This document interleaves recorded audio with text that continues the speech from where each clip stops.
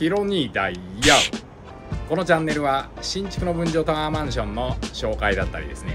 賃貸のタワーマンションの内覧内見に行って家賃を当てたりとかしているチャンネルです。興味のある方はぜひチャンネル登録よろしくお願いします。レギュラーの岩本さんです。よろしくお願いします。はい来ましたね今日も。今回は視聴者様から、えーちょっと南の方とかそっちの方を紹介してほしいっていうコメントがあったんでやってきました、えー今日来たのはここです。ザン。なんです。ナンバーグランドマスターズ。タワーあそうですね。ナンバーグランドマスターズタワーですね。はい何階ですか？地上えーっとね33階建てのはい。今日は。3時かおかなり高層階ですね。いい感じですよはい。これの結構ね高層階って言ったらいい感じですよね。外観はなんかねちょっとスミフっぽいっていうかブルーっぽいね、うん、まああの引き回しのベランダだけどね。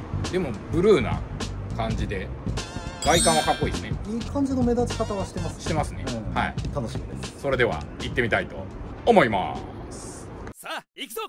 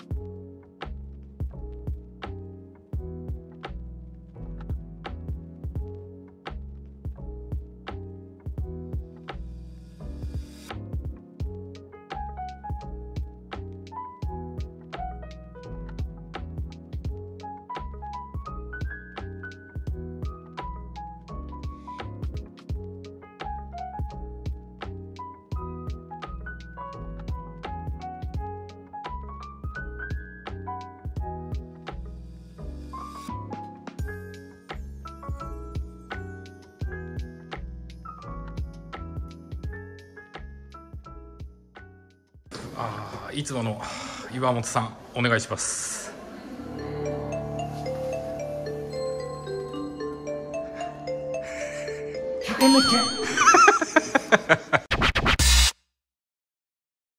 はいお邪魔します。来ました。見てください。まずね壁がいいですね。はい。で何かここに置けるスペースがあります。でさらに開けるとウォークインシューズクローゼットがあります。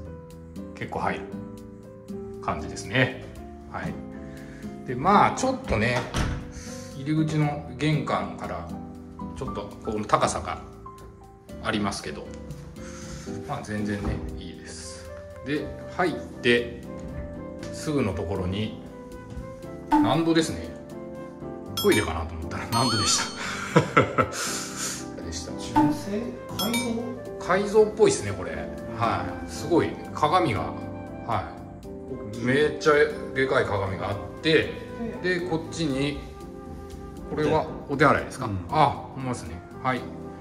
えーと手洗いカウンターついてて結構広いですねまあやっぱりねタンクもあってウォシュレットですけどこういうタイプのやつなんでまあちょっとね築年は経ってるっていう感じはどうしてもねあるんですがまあ広いです。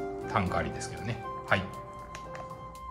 はいえー、洋室主寝室だと思います。10.1畳。ああ広い。10.1畳。めちゃくちゃ広いですね。広いし角ないし。はい。綺麗うんな形ですでね収納もねいっぱいあります。しかもこれ中もね色ちゃんとうんついてるからこう見た感じね高級ですよね。うん。はい。すごいはいえー、引き戸。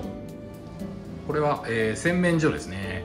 うわすごい。これちょっと待ってください。まず珍しいですね。うん。なんかねあんまり見たことがない。まあ三面鏡は三面鏡なんですけどなんだろうまあこれぐらいでいいんか。うんこれ開くのかな。あ開きますね。ちゃんと収納うん。があるんですけどなんか変わったタイプですね。これね。これであれなのかな？これもねうん。ちょっとあ浅い浅い。感じでなんかすごくなんか変わってますね。今まで見たことがないタイプの洗面台ですか？でただねこれ見てください。来ましたこ黒 いですれねえ。うんこれはだって普通窓ついててももうちょっと上の方についてるパターンが多いんでお風呂につな浸かりながら外の景色っていうのは見れないんですけどこれ完全に見えますね。まあ見えますはい。あのでまあ逆に見られるってこともないしうん。完璧じゃないですか俺は。ね。うん。この景色と。これ多分夜景めっちゃ綺麗ですよ。はい、えー、もう一つの洋室ですねはい。これは何畳でしょうか？6.2 6.2畳。はい。まあまあこれはね子供部屋か書斎かって感じですね。まあ長方形の洋室です。ここもしっかり収納があります。中の面がねちゃんと木目になってるんで高級感は素晴らしくあると思いますはい、えー、ベランダ出てきました。すごい景色。素晴らしい。西を向いてるのかなこれは。西ですね。ね西ですね。はい。目の前あれ工事してんのあれね多分ねタワーマンションだと思います。ちょっとね今わかんないんですけどまあ出しておきます。この辺に。はい。こんな感じですよ。ちょうどね今ね昼昼過ぎでちょうど西日がこう差してきてる感じなんであれなんですけど素晴らしいあっちの方が弁天町ですね、はい、以前見に行ったあれも見えますクロスタワー。そうそうそう。クロスタワーが綺麗に見えます、はい、で、えーこちら側が難波ですね。はい。難波の方になります。そうですね。素晴らしいです。景色が。こんな感じのベランダになりますちら側がキッチンですね。スペースだけで5.1畳ありますね全部。ああ広あ広いですね。うん。なるほど。まあえー、と完全に独立してるって感じになりますねこれだとね。です。ははい。い、独立してる感じのこのキッチンですね。あの黒いね。あの天板で広い。まあ若干古さを感じるけど高級感ありますね。うんこういうなんかなんだろうこの木目もちょっと黒いのが入ってるっていうのがまあちょっとこうアンティーク調なねうん。感じでかなっていうふうにまあ僕は個人的には思うんですけど。そうそうですね、うん。はい。でも全然あめっちゃ広い。はい。いいキッチンだと思います。はい。えー、メインリビング行きます。これ見てください。このガラスね。ガラスの扉を抜けると来ましたリビング。ほほほほほほほ広っここも優秀何畳ですかこれ。14.8なるほど。隣が5.7あこっちに、えー引き戸で部屋が分かれてるんですがこれね引き戸になってて。まあ開くとかなり広い。書斎としてですか？そうですね。あのー棚がすごい。備え付けの棚がめっちゃあります。本いっぱい置けます。そしてなんか机もありますねですね。十分です。で見てください。これね。これねすごいですねこれね。何度も置いてねこういう。はい。何置きます？ヨンスタンだったら。こういうところに。ストロングゼロ。ストロングゼロ、はい。ストロングゼロ、えー、ワイン。じゃあワインなんて私はワインなんてハイカラな飲めないので、はい。えー、ハイボール。ハイボール。ハイボール。ハイボール。ハイボール。ビール。ビールビールビル皆さんこんなダメな大人になってはいけませんからね わかりました。お酒を置くそうです。そしてねこのテレビボード素晴らしいですね。この配線もちゃんと隠せるようになってるんででかいやついけますか？なりいけますね。これだから80インチとかも多分全然置けるぐらいのあのテレビボードですね。かっこいい。でソファー置いてこうするとはいいけますね全然。でこの透明のねあれですすごい。素晴らしい。これは素晴らしいな。そこも開けますね。はい。あーやっぱねすごいですよ。このやっぱ収納の中もちゃんと色ついてるしね、はい。もう全てこだわってますねこれは。作りが。はい。感じだと思います。こんな感じのリビングです。はい。ありがとうございました。ありがとうございました。結構良かったです。かなりいいですね。なんかねまあ、若干古さを感じるんですけどあのこういうのが好きな人はもうめっちゃ多分ドハマりするような感じですね、今まで見てきたのとはまたちょっと一風変わったね。な内装としてもその感じとしても全然違う感じだったと思いますけど。はい。なかなか良かったと思います。はい。でまあこの物件なんですけど最寄りの駅はどこになるんですか？えっとね大黒町。大黒町大阪メトロ大黒町ないしは南海の南波大黒町が5分はい南波が9分あなる。ほどちょっと離れてますねちょっと離れてますただあのすぐ近くにあの山田電機とかね、えー、ナンバーパークスも近いですね。まあ歩いて行ける距離。かな、うん。ちょっと離れてますけど。ぐらいの距離にあります。で、まあ、静かかな。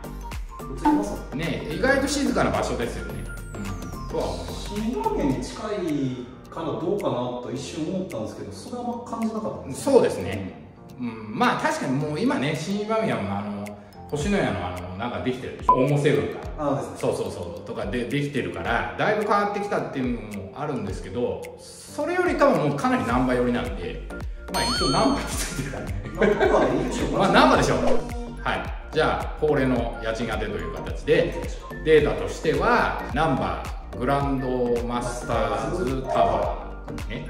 えー地上30 3階建てのはい。30階。31階、はい、かなり上層階ですね、えー平米数は？97.39平米。あそんな広いですか？広い。めちゃくちゃ広い。ほぼ100平米あるんですね。そうそう。3 4平。ああなるほど。今日込みで。はい、32うん。はい、まだまだ。まだまだ。いまだまだ上です。まだまだ上か。まあさすがにあれか100平米近くあるからそうか。それはそうだ。な、上層階ですね。そうそうそう。わかりました。39、ちょうど間ぐらいかな。お願いします。34万8000円。なるほど。まあ約35万ですね。うん。なるほど。うーん。まあまあそんなもんか。そんなもんですね。そんなもんですね、なんか特別高いっていう感じでもないし安いって感じでもないし、なかなかでも貴重っちゃ貴重っすよね多分ね。この辺りの。本町界隈とか、しえーと心斎橋あと梅田とかその辺に比べたら数が少ないんでやっぱりもうそもそもタワーマンションの数がねこの辺り、うん、でこんだけ広くてこんだけ高層階で数がやっぱり限られてくるんで、うん。それで言ったら安いのかなと思いますね。ナンバね。出ますか？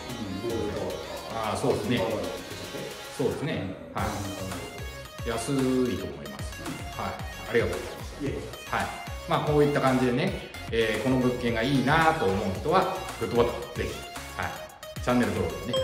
ぜひぜひよろしくお願いします。それでは次回という形でさようなら。